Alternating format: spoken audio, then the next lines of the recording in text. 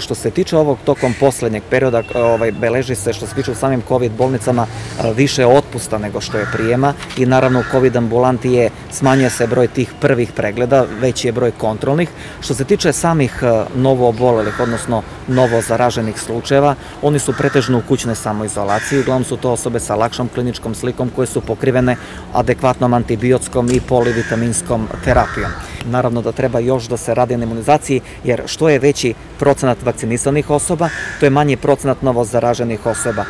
Što je veći procenat vakcinisanih osoba koje dođu u kontakt sa virusom, a ne postoji šansa da se obole da dobiju virusnu infekciju, znači mi prekidamo i ulazna vrata za infekciju, znači prekidamo automatski i četvrtu karikovog ralikovog lanca infekcije, automatski prekidom mi onemogućavamo preživljavanje virusa, samim tim onemogućava se njegova replikacija, odnosno umnožavanje virusa, a samim tim